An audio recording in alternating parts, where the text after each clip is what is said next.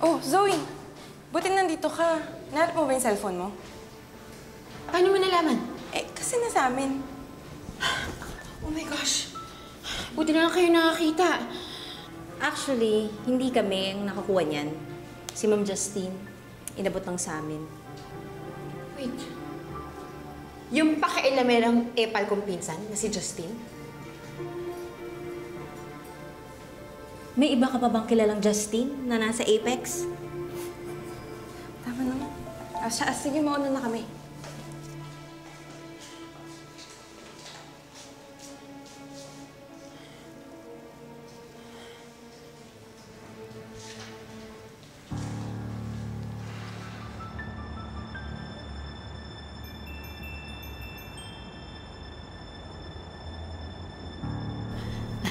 I really can't take it anymore. Ngayon na nakuha na ni Dax yung gusto niya, ako na may hakol sa leeg. Eh, di gawin mo yung gusto niya. He wants to go out with me. O, then go out with him. Hindi naman ibig sabihin na magpapakatotoo ka. Ang mahalaga lang, huwag kang magpapatali sa leeg. In fact, it should be the other way around. Dapat ikaw nagpapaikot sa kanya. Alam mo, nasasabi mo lang yan kasi hindi naman ikaw yung makikipag-deal sa obnoxious na Dax na yun eh. I mean, I have a life. Ni, hindi ko pa nga nadadalaw si Tita Lynette eh. Baka mamaya magtaka na si Daddy tsaka si Annalyn. Oo nga, nabalitaan ko yung nasa Apex daw si Lynette. Ano ba nangyari sa kanya? Naoperahan siya. She had a craniotomy. Kita mo nga naman, karma is waving at them samantalang ako, inuulan ng blessings. Sana natuluyan na yung Lynette na yan para todo na rin ang mga blessings sa akin. Well, I'm sorry to disappoint you. Pero the operation was successful. Nalipat na siya sa ICU kagabi to monitor her progress. That doesn't mean there isn't anything we can do about it. Mom! Bakit? Hindi mo ba kayang gawin ng isang bagay para tuluyan na mawala yung Lynette na yon? Isang injection lang ng potassium chloride. Wala na yung babaeng yon. Beses ko ba sasabihin sa'yo na hindi ako kriminal? I am a doctor. Baka nakakalimutan mo. Matagal lang naman siya ng dugo ang mga kamay mo ng lolo Pepe mo. Kaya ako sa'yo, lubos-lubusin mo na.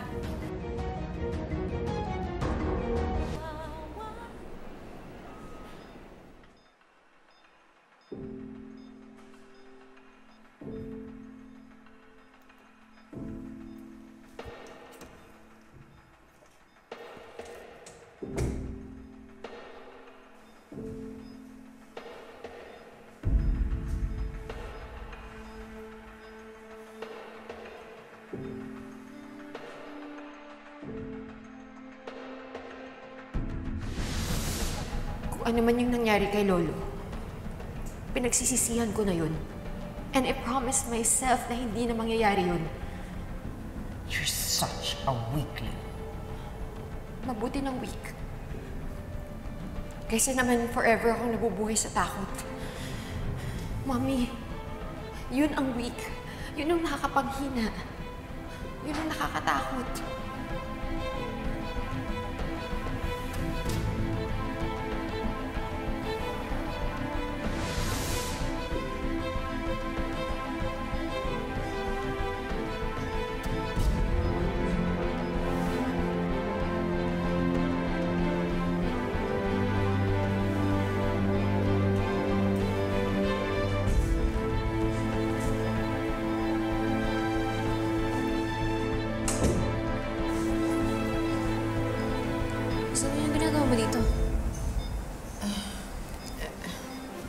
Nabalitaan ko yung nangyari kay Tita Lynette.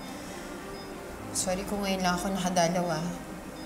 Masyado kasi madami nangyari. Tungkol ba to kay Dax tsaka dun sa posibleng paglayo ng mami mo? Annalyn, pati ba naman ikaw? Sa tingin mo ako may kinalaman sa pagbabago ng isip niya?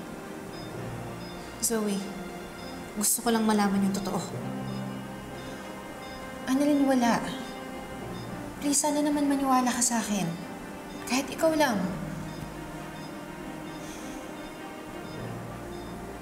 Sana nga nagsasabi ko ng totoo, Zoe.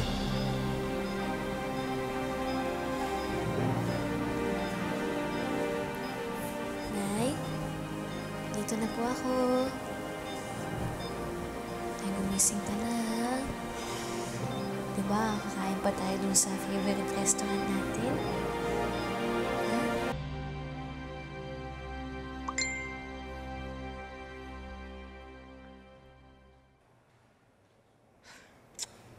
Oo na, oo na. Zoe! Ba't parang nagmamadali ka? May pupuntahan ka? It's none of your business. Date ba yan? Di ba sabi mo may dinedate ka? Si Dax? Excuse me. I'm not that cheap para pumatol sa isang taong katulad ni Dax. Alam mo, para matigil ka, I am dating Dr. Ken Prado. Okay? Oh, talaga? So, siya yung kikitain mo mamaya? Pwede ba? Mind your own freaking business.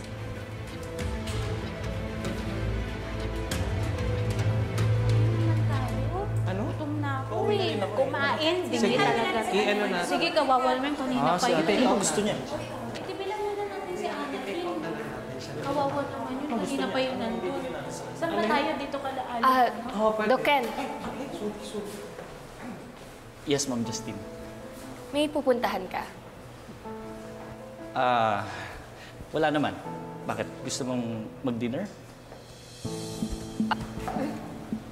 Ah, hindi.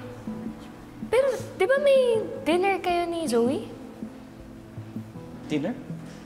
Wala naman kami nakaschedule na dinner ngayon. Bakit? Ah, well, ma'am, before, nag-dinner sila ni Zoe. Oo. Tapos hindi na nasundan. Di ba na, Doc Ken? Hindi na naman. Tsaka feeling ko hindi na rin mauulit yun eh. And I think Zoe is seeing someone else. Too bad, hindi ako yan, Ma'am Justine. So, hindi ikaw yung kikitain ni Zoe mamaya? Uh, hindi. Kaya kung gusto mo mag-dinner tayo, I'm free. No, thank you. Ah, sige na, may pupuntahan pa yata kayo. Oo nga po eh. Halika na, Delulu. Halika na, masyado kang ano, dyan. Halika Ano na. talaga yung mga babae, no? Ang gugulo. Okay kanina, tapos biglang di pala gusto.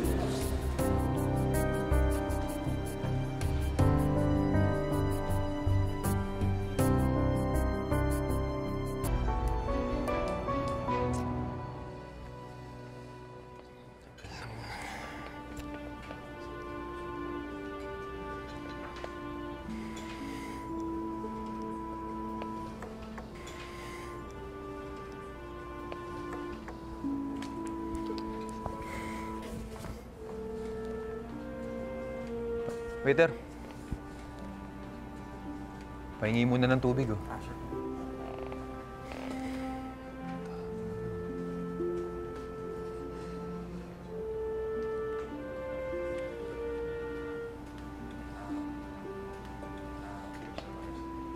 Thank you.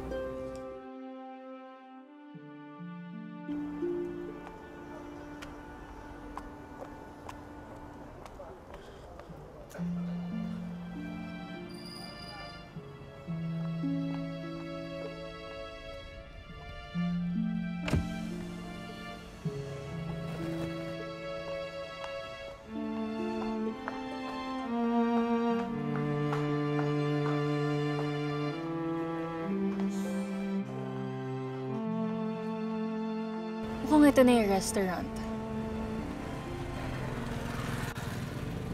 Tuloy na yung pagkikita niyo. It's time to find out kung sino yung mystery guy mo, Zoe.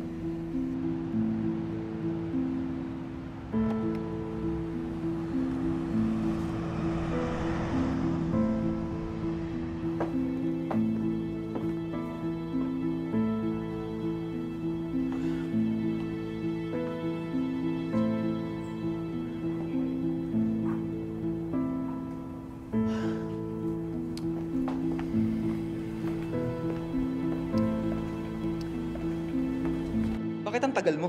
Tumakas nga lang ako para dito eh. Tagalan ako sa Apex eh. Tsaka matraffic. Ah, ganun ba?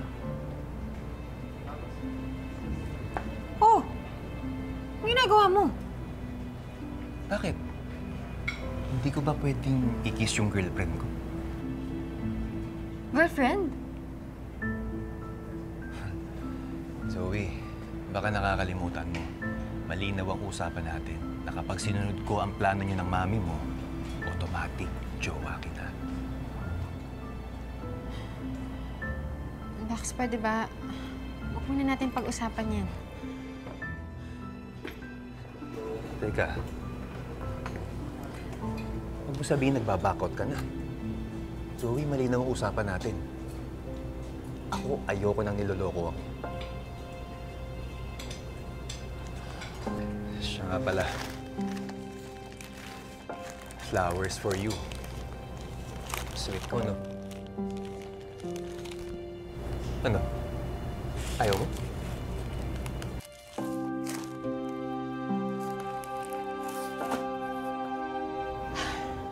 Dax, pwede bang... Huwag muna natin madaliin yung sa atin? You want this relationship to last, pwede bang kilalanin muna natin yung isa't isa? Gusto mo ba yung mabilis na magiging tayo, pero... Pero mabilis din tayong magbe-break? Gusto mo ganun? Ayoko. Ayoko. Zoe. Zoe. Gustong gusto kita. Gusto ko magtagal tayo. Dax, please.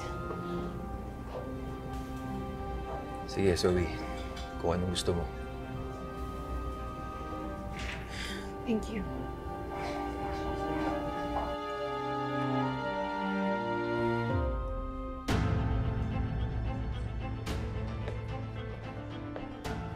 So, si Dax pala yung ka-dinner mo? Siya yung manliligaw mo?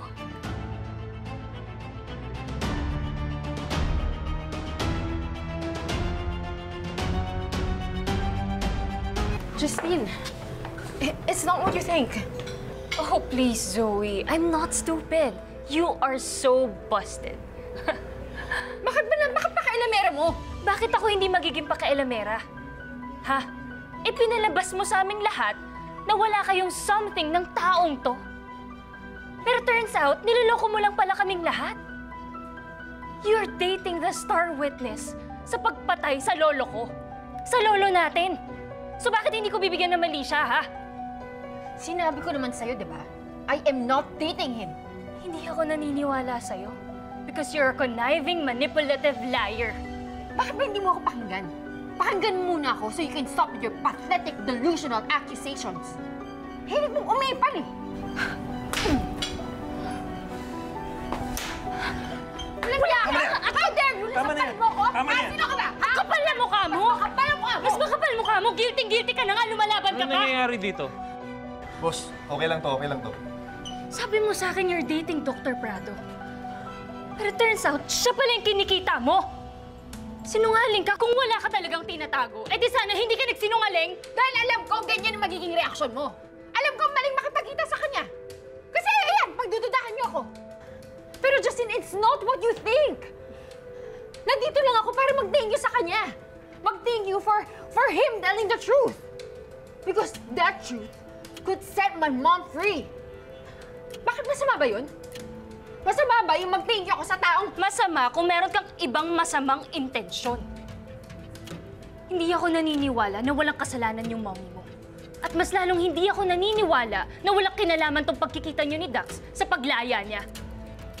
Think about it. Your mom is a criminal. You're dating a criminal. And that makes you what? Hmm? What?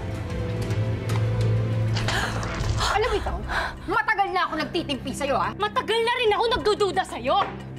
Tama na yan, Justin. Nagsasabi ng totoo si Zoe. Nagpapasalamat lang siya dahil nagsasabi ako ng totoo. Kayong dalawa, ang kakapal na mukha nyo na pinagpipilitan nyo yung alibay nyo na wala namang kwenta. Di huwag kami niwala. Alam mo, wala namang may pake sa opinion mo. Ah, talaga? O di sige, hintayin mo yung sasabihin ni Annalyn at ni Tito RJ once na nalaman niya na kinikita mo tong taong to. Tingnan natin.